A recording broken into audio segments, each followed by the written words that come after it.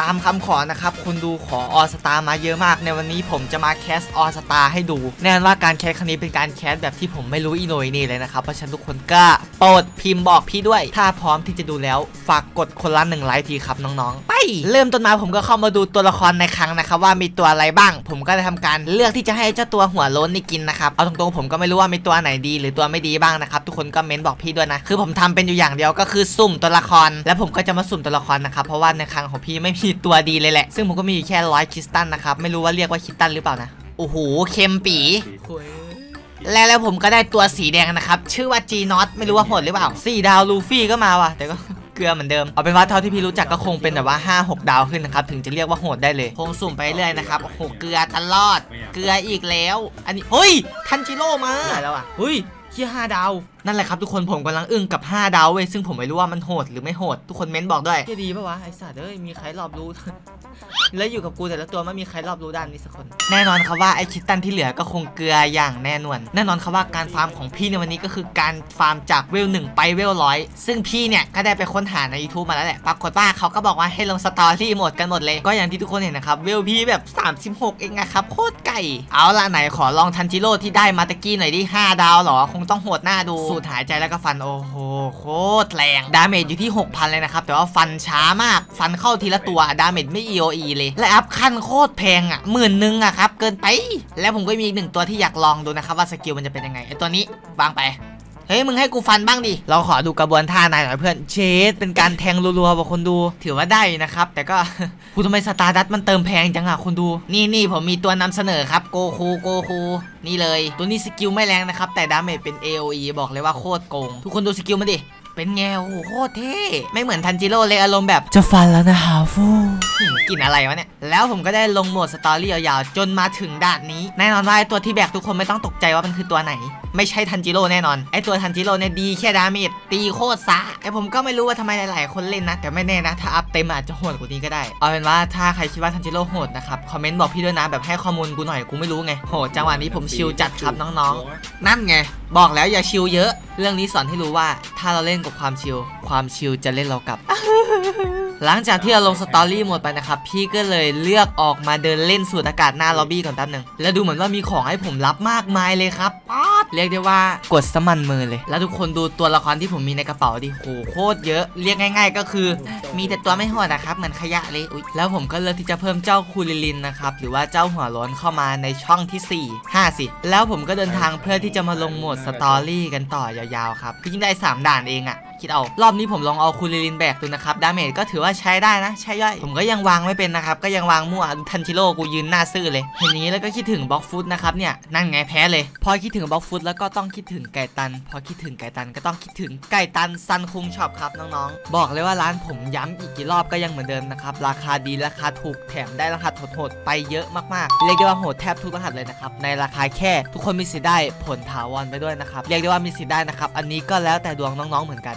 ส่วนสุ่มไก่ตัน5บาทบอกเลยว่าเกลือน้อยมากๆนะครับ สุ่มได้โคตรเยอะ มีพระตื่นในราคา 89 บาทเท่านั้นนะครับ และที่สำคัญยังมีราคาแค่ 179 แต่มีสิทธิ์ได้เผ่าวีสีเทียสิบและยังมีโอกาสได้ผลถาวรไปครอบครองด้วยครับบางรหัสมีดาบโยรุติดไปด้วย บอกเลยว่าคุ้มสุดๆ รหัสเทพเผ่า Mink V4 ขั้น 10 นะครับ อันเนี้ยราคาแค่ 1,299 นะครับ แต่ของโคตรแน่นดูดิ อย่าลืมมาอุดหนุนกันด้วยนะ เดี๋ยวผมจะทิ้งลิงก์เว็บไว้ข้างล่าง เอาล่ะเรากลับมาเล่น All Star กันต่อ หลังจากที่ผมแพ้ไปในเกมที่แล้วแน่นอนว่าผมก็ยังไม่เข็ด ผมก็ยังลงเรื่อยๆ แต่ในรอบนี้ผมก็ลองเปลี่ยนตัวแบกดูนะครับ โดยผมจะลงไอตัวหัวชมพูเนี่ย ผมรู้สึกว่า damage มันจะแรงๆนะ แล้วมันตีเร็วด้วย แน่นอนว่าผมก็ยังย้ำคำเดิมนะครับ ทุกคนสามารถ commentแนะแนวทางบอกพี่ได้ว่าควรเล่นยังไง ควรอัพตัวไหน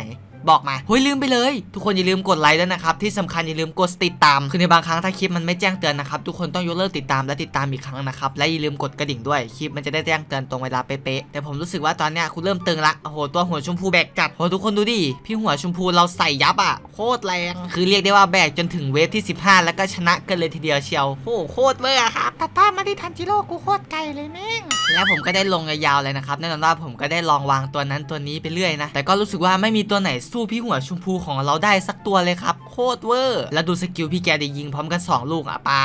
ดตายห่ากันหมด แล้วเราผมก็ได้ลองมาสุ่มดูนะครับ แล้วก็อย่างที่ทุกคนรู้นะครับว่าเกลือครับไอสัตว์แม่งคือไม่กะจะออก 5 ดาวมาให้กูสักตัวเลยหรือไงวะ ถึงว่าล่ะเขาบอกว่ามาเล่นเกมนี้ทีไรแม่งต้องเป็นโรคไตทุกคน คือมันเกลือเยอะนี่เอง แล้วผมก็ยังสุ่มต่อไปเรื่อยๆเพื่อวัดดวงตัวเองแน่นอนว่าเกลือดีครับรออะไร แล้วผมก็ได้ทำการป้อนข้าวน้องทันจิโร่นะครับเผื่อที่มันนะมันจะได้เก่งขึ้นนะ เหมือนว่ามันจะมีแค่แบบเวลเพิ่มเฉยๆนะดูจากทรงละกินเข้าไปแล้วโตไวๆนะลูกนะโหดๆนะลูกนะ และแล้วผมก็ได้เลือกที่จะมาลงโหมด infinity แล้วทุกคนมาลุ้นกันว่าผมจะไปได้ไกลสักกี่ wave แน่นอนว่าคนอย่างพี่อะต้องไปสัก 200 wave อะไรเงี้ย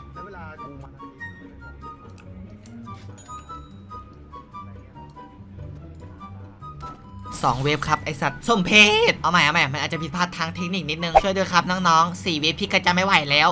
บ้านจะแตกแล้วฮัลโหลจังวันนี้ผมก็วางมั่วเลยนะครับทำยังไงก็ได้ให้บ้านผมรอด แต่ก็ดูเหมือนจะพังเหมือนเดิมนะโอ้เรียบร้อยโอ้ดูจากสภาพแล้วคือพี่ต้องไปฟาร์มเวลในโหมด story ก่อนแหละตัวซองคือทุกคนอย่าเพิ่งขัดใจนะเว้ยคือผมเป็นผู้เล่นเลเวลหนึ่งแบบหนึ่งมาก ๆเลยนะคือผมไม่รู้ว่า up ยังไงเล่นยังไงไปยังไงไม่รู้เลย แม้กระทั่งการวางตัวพี่ยังไม่รู้ ตอนนี้ผมก็ได้ให้ทันจิโร่นะครับได้กินไอ EXP ที่ผมได้ได้มาตะกี้ไอหมวกเวทมนต์นะเห็นเขาบอกว่ามันเป็นเลเวลใช่ปะก็กินกินไปนะลูกจะได้โตไวๆแล้วผมก็ได้มาทำการจะสุ่มอีกรอบอะคือกูกะจะเกลืออยู่แล้วอะก็สุ่มอีกรอบเลยละกัน แน่นอนว่าเกลือเท่านั้นที่รอเราอยู่โอ้โหไอสัตว์สี่ดาวมึงมาเพื่อ คือไอตัว 6 ดาว 7 ดาวนี่ไม่มาให้กูเลยอุ้ยเห็นเงาแล้ววะนี่ไงเทพเจ้าบากีก็มาพูดได้คำเดียวเลยว่า เค็ม แล้วผมก็ได้ลงแบบนี้ไปเรื่อยนะครับ แพ้ก็กดเริ่มใหม่โหไอก็ chill โพดแล้วดูเหมือนว่าในรอบนี้ผมจะดูแล้วว่าตัวอะไรเป็นตัวแบกนะครับ ผมก็เลยเอาเจ้าหัวชมพูนี่แหละมาแบก เป็นตัวแบก wave ชั้นดีเลย ถ้าถามว่ามันตีแรงเท่าทันจิโร่ไหมผมส่วนตัวผมว่าตีไม่แรงเท่าทันจิโร่แน่นอนนะครับ แต่ skill ไวกว่า skill กว้างกว่าเป็น AOE บอกเลยว่ามันโกงตรงนี้แหละ คือผมสามารถวางตัวเดียวแล้วยืน AFK ได้เลยอะทุกคนดู skill ดิโอ้โห skill พี่แกแรงจริงดูดิ ถ้าใครรู้ว่าในคลังพี่เนี่ยมีตัวที่ดีกว่านี้นะครับหรือพี่ควร up ทางไหนก็บอกพี่ด้วยนะกูย้ำรอบที่4ละกดไลค์ด้วยแล้วคือผมปล่อยตัวเดียวจริงๆนะครับแล้วก็ยืน chill จัดเลยอะนี่ตัวนี้โคตรโหดอะโหดกว่าทันจิโร่กูอีก บอกแล้วว่าปล่อยตัวเดียวผมก็ชนะได้ แน่นอนว่าการเลือกโหมดผมก็จะเลือกโหมด normal ไปก่อนเลยนะครับ เราจะไม่เลือกแบบ active หรือว่าการฆ่าตัวตายแน่นอนมันหนาว่า extreme นี่ว่าไปลูก ตัวเดียวก็ไหวเนี่ยชิวๆไหวไหมวะโชว์เขาลูกโชว์เขาลูก โชว์ศักยภาพ นี่ 1 ต่อร้อยเรียกศักยภาพแหละครับโทษที และพี่จะปล่อยมันรอดมาทำไมครับ 1 ตัว แต่ผมคิดว่ารอดเป็น1ตัวเองคงไม่เป็นไรหรอกนะเดี๋ยวเดยวเองไม่เป็นไรหรอกมั้งไอ้ตัวนี้มันช่วยอะไรเนี่ยตามนั้นครับทุกคนคือผมงงว่าไอ้ตัวเล็กๆสีทองๆเนี่ยมันช่วยอะไรนะครับใครเอาว่าใครรู้ก็เม้นบอกพี่ด้วยนะครับหลังจากนั้นผมก็ขายหัวชมพูออกนะครับเพื่อที่จะได้เจ้าหัวดำฟูของพี่เนี่ยให้มันได้เฉิดฉายสักทีแล้วดูมันดิน้ำเห็นมันก็แรงนะครับแต่มันโอ้ โคตรไกลเลย ผมเนี่ยจึงต้องรีบวางหัวชมพูนะครับ แล้วก็ up ให้มันตันเลยไม่งั้นโหบอสเข้าป้อมกูแน่นอน แน่นอนว่าพี่หัวชมพูของเราแบกทุกสถานการณ์นะครับแม่ง 250 ได้ 17 stardust อะจะบ่นกี่ครั้งก็เหมือนเดิมนะครับว่า stardust เนี่ย All Star โคตรแพง ฉันต้องดวงดีบ้างแล้วนะใช่คือผมต้องดวงดีบ้างละในชีวิตเนี่ยห้าดาวไอ้นี่มันตัวอะไรวะคนดูดีไหมเม้นบอกพี่หน่อยนะ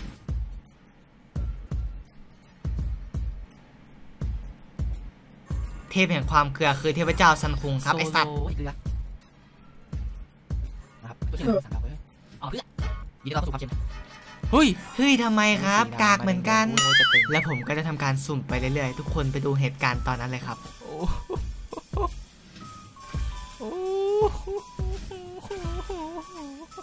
เค็มปีเลยไอ้เฮ้ยตามนั้นครับเค็มตลอดแม่งแต่ก็ดูเหมือนว่าผมจะได้ตัวปริศนามาหนึ่งตัวนะครับ เป็นตัว 5 ดาวด้วย 2 ตัวสิ ผมคิดว่าน่าจะโกงนะเดี๋ยวผมจะลองไปเล่นดูคือ4 5ดาวขึ้นนี้กูร้องโหดหมดนะเอาดิแล้วผมก็ได้เดินมาเจอตัวอะไรไม่รู้นะครับมันคือตัวอะไรวะเนี่ยโอ้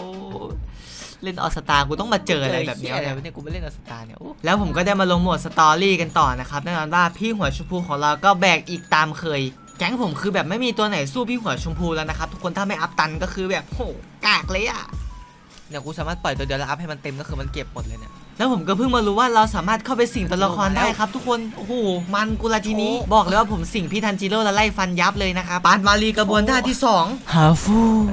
เอาตรงๆ คือกูควรพอกับกับไอไอฮาฟูเนี่ยนะ แล้วผมก็ได้ลองมาสิงพี่หัวดำดูนะครับปรากฏว่า skill พี่แกก็ไม่ตึงเท่าแบบโกคูหัวชมพูของพี่เลยอะว่าแล้วผมก็สิงพี่หัวชมพูของเราเลยครับ แล้วเราก็จะใช้ skill skill นี้เลยครับ โอ้โห ชาร์จใส่ชาร์จใส่โคตรสะใจเลยเว้ย แบกจนชนะไปอีกรอบนึงโอ้โหพี่ก็ตึงเกิน หลังจากนั้นผมก็ได้ลงยาวๆไปเลยนะครับ เรียกได้ว่าแบกแล้วแบกอีกทุกคนดูเจ้าตัวนี้ครับพลังโคตรเวอร์ทรงผมคุณนึกว่าเกลือเพียวพังบ่นี่แล้วผมก็ได้ลงยาวๆเลยนะครับเดี๋ยวจะรีให้ดูนะเดี๋ยวมันจะดูน่าเบื่ออะไรอย่างนี้ แล้วผมก็มาถึงด่านนี้จนได้ครับนั่นแหละว่าพี่ก็จะเลือกโหมด normal แบบเดิมกูไม่เสี่ยงหรอกในตอนแรกก็เหมือนจะไม่มีอะไรนะครับผมก็เล่นปกติเลย ผ่านไปถึงเว็บที่ 8 ครับผมเริ่มสังเกตได้ว่ามันมีตัวที่บินได้เว้ยแล้วหัวชมพูของพี่ไม่สามารถตีถึงอะงงมากเลย แน่นอนว่าผมไม่สามารถทำอะไรได้นะครับ ผมก็ได้ทำได้แค่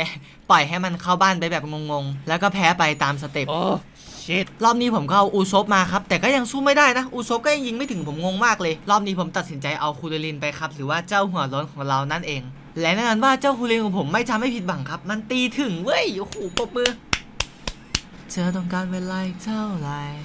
ที่จะให้พิสูจน์ว่าฉันนั้นรักเธอแค่ไหนอยากเจออีกแล้วร้องเพลงนิดนึงละกันโหยชมพูยังแบกอยู่แล้วเนี่ย แล้วผมก็ได้ลงไปเลยนะครับจนรู้สึกว่า โอ้เบื่อละ เดี๋ยวผมไปลง infinity แล้วกันรอบนี้ รอบนี้ผมได้ทำการเอาหัวชมพูของผมมาลง infinity นะครับ เรามาดูว่าพี่จะสู้ได้สักกี่ wave กัน รอบที่แล้ว 4 wave ไอ้สัสช่วงแรกๆก็ดูเหมือนว่าจะ chill มากเนี่ยครับคุณดูตอนนี้ก็ยังดู chill ๆอยู่นะครับแต่ดูดิโอ้โหข้างหน้าดิโหโคตรเละตอนนี้ก็ดูเหมือนจะหลุดมาตรงกลางบ้างแล้วนะครับทันจิโร่คุณได้ออกโลสักทีเถอะเวฟที่ 55 ดูเหมือนจะไม่ไหวแล้วนะครับคุณดูดูเหมือนแบบเริ่มตึงละมันเริ่มเข้าไปในบ้านแล้วเรียบร้อยแต่โอ้โหสุดที่ 55 นี่นะ เอาเป็นว่าคลิปในวันนี้ก็ต้องขอจบแล้วกันนะครับ ถ้าใครชอบอย่าลืมซับตะไคร้และแชร์ไปด้วย แล้วเจอกันคลิปหน้าครับน้องๆบายบายกดไลค์ด้วย